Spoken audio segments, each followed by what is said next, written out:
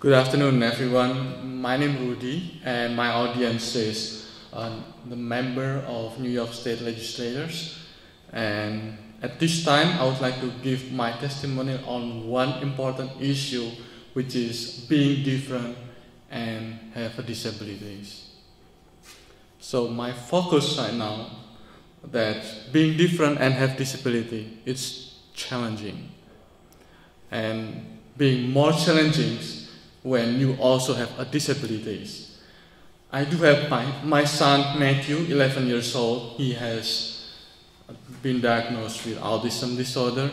And my daughter Catherine, she's seven years old. She's quite normal or appears to be normal. So raising these two, two children, it's not easy. And what I can see, let's, uh, let's focus in one which is a being normal. What is the definition of being normal? Normal is average. Normal is that something that we use to measure that everybody are almost identical. And normal is also being a standard, regular, generalized to the other people.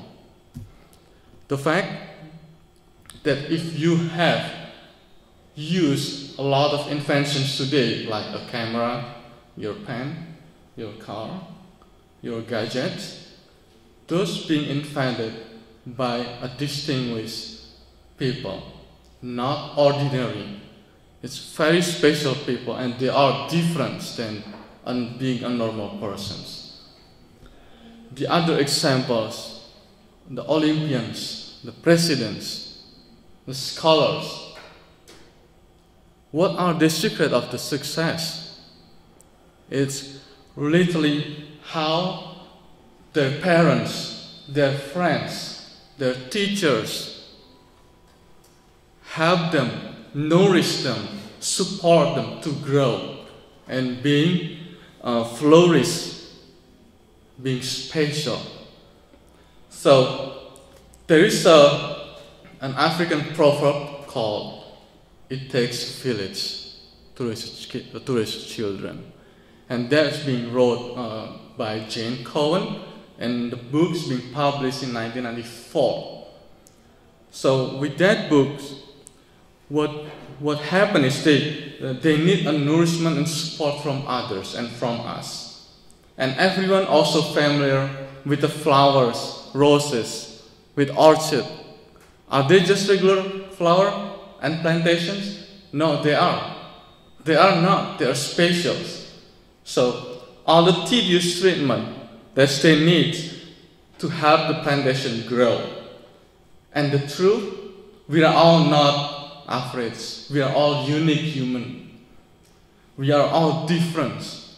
And even some have abnormality.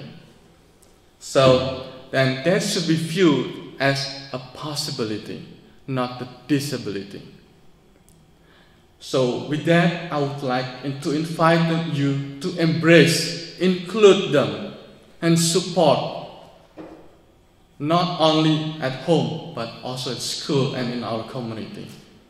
And thank you for all this time. And this, this testimonial is not for you and me, it's for our children to help them to grow and do their best. Thank you very much.